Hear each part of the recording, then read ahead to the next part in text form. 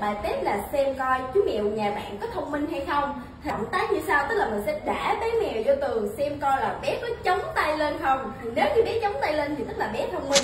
Nào để mình thử coi bé mèo nhà mình như thế nào nha. Em nói là út khỏi chửi em. Và sau đây chúng mình sẽ cùng test các bé mèo khác tại cà phê nha. Vậy hả? khuôn mặt của người chiến Không, chắc chắn nó thông minh rồi. Thông minh không? Nhớ nó thật rồi thông minh không? Test à? được rồi chết. Rồi. Chết rồi. Cái đầu đặt bên trước rồi. Đó Đâu để tự hào vậy?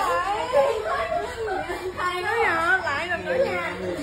Thôi em ơi Cố làm gì? Nó không hề động đậy luôn nè. Mười, đá Đấy